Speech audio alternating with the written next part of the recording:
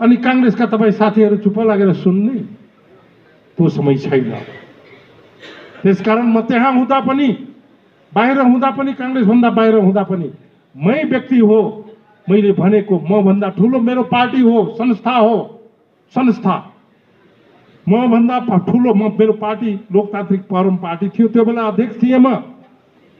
मभन्दा ठुलो मेरो पार्टी हो पार्टीभन्दा पनि ठुलो दे मधेस हो। मैले भनेको हो मधेसी मधेसी भूमिको प्रतिनिधित्व गर्दै। त्यो भावनाको मिनिङ छ अर्थ छ। मेरो पार्टीभन्दा ठुलो मधेस मधेसभन्दा पनि ठुलो मेरो देश भनेर भनेको मैले अनि हामी चाहिँ देशभक्त होइनौँ। त्यसकारण त्यो कुरा फेरि मैले आफ्नो नेताहरूलाई भने कम्युनिस्टको नेताहरूले भने जुन कुरा मैले भने मेरो देश मधेसभन्दा ठुलो मेरो देश। त्यो हाम्रो ठुलो नेताहरूले भनेर त्यसको त्यति अर्थ लाग्दैन। कम्युनिस्टहरूले पनि भनेर कुनै अर्थ लाग्दैन।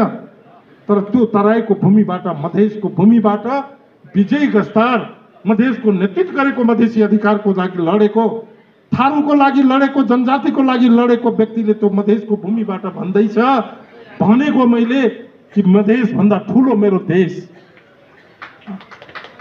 त्यो अरूले भनेर कुनै अर्थ राख्दैन। र विजयले भनेको ठुलो अर्थ राख्छ यी सबै कुरा हुँदा हुँदै म पटक पटक त्यहाँ उप प्रधानमन्त्री भए सरकारमा गएँ मलाई आरोप लगाए विजय गस्तार त सत्ताको खेलाडी जहिले पनि सत्तामा काङ्ग्रेसमा हुँदा पनि सत्तामा मन्त्री बन्न पुग्ने सरकार अनि काङ्ग्रेस छोडेर बाहिर जाँदा पनि मधेसी पार्टीमा पनि सरकार सत्तामा अनि आफैले पार्टी बनाएको पनि सत्तामा मलाई सत्ताको लालची।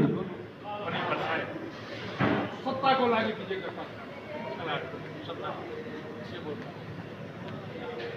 खोजेको साथीहरू त्यसैले मैले सरकारको बाटो छोडेको देख्दा देख्दै। उपेन्द्रजीलाई थाहा थिएन तर मलाई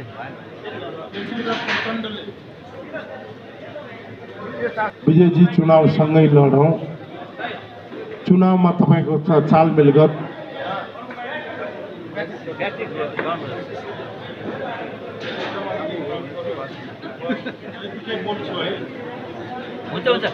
हुन्छ हुन्छ। पछाडिका साथीहरू सुनिदिनुहोस् यो कुरामा मैले आफ्नो प्रश्नको लागि मैले त्यो सत्ताको बाटो गइनँ। म काङ्ग्रेस बलियो बनाउन आएँ। साथीहरू त्यसरी बुझिदिनुहोस् काङ्ग्रेस बलियो बनाउन आएको मलाई सत्ताको पनि बेला यता कता आरोप लाग्यो सत्ताको खेलाडी मैले सत्ताको बाटो छोडेँ. मैले कम्युनिस्टको बाटो के अरे चुनावसँग मिलेर चुनावमा जाने बाटो छोडेर काङ्ग्रेससँग मैले एकताबद्ध गरेँ। काङ्ग्रेसलाई बलियो बनाउनको लागि। काङ्ग्रेस बलियो भएर बस्यो भने लोकतान्त्रिक पद्धति बलियो हुन्छ। काङ्ग्रेस बलियो भयो भनेदेखि संविधान जोगिन्छ। काङ्ग्रेस बलियो भएर बस्यो भने यो देशमा जनताको अधिकार सुरक्षित हुन्छ। त्यसैले काङ्ग्रेसका साथीहरू अरू कुरा छोड्नुहोस्। अरू कुरामा माइक ठिक भयो भयो चार मिनट अरू बोल्थे होला। मलाई सजिलै भएको छ आफ्नो कुरा टुङ्ग्याउनको लागि छोटो त्यसकारण तपाईँहरू उच्च मनोबलको छ एउटा विचारको पछाडि लाग्नु भएको जसरी तपाईँ कम्युनिस्ट बन्न सक्नुहुन्न त्यो विचारको पछाडि जान सक्नुहुन्न हामीले बोकेको विचार भनेको लोकतान्त्रिक पद्धति हो संसदीय पद्धति हो हामीले बोकेको विचार भनेको जननायक विशेषर प्रसाद कोइरालाले अङ्गीकार गर्नुभएको प्रजातान्त्रिक समाजवादको बाटो हो। त्यो बाटोमा हामी दृढ भएर अगाडि बढौँ। त्यसमै ब- त्यो उद्देश्य हासिल गर्नका निम्ति पुनः आउने समयमा नेपाली कङ्ग्रेस बलियो भएर जानुपर्छ। नेपाली कङ्ग्रेस बलियो भएर जानको लागि ठुलो शक्ति आर्जन गर्नको लागि काङ्ग्रेस झगडा गरेर हुँदैन। नेपाली कङ्ग्रेसका नेताहरू आपसमा झगडा गरेर हुँदैन। आफ्नो स्वार्थभन्दा माथि हाम्रो नेताहरू उठ्नु पर्ने।